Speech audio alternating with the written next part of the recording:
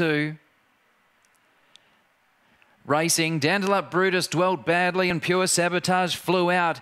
It goes to the front from Zabo Manelli, that dude, West on Beth launching, and now the inside run comes for Dandalup Brutus, who surges through to take the lead. Well back is Black Cotter, and then you can excel, but it's Dandalup Brutus out by four. West on Beth gets to second, gives chase, and then Zabo Manelli, Pure Sabotage, but Dandalup Brutus is clear of West on Beth, and Dandalup Brutus beat West on Beth, Black Cotter, and Zabo Manelli. Pure Sabotage ran fifth and basically gave the favourite the race.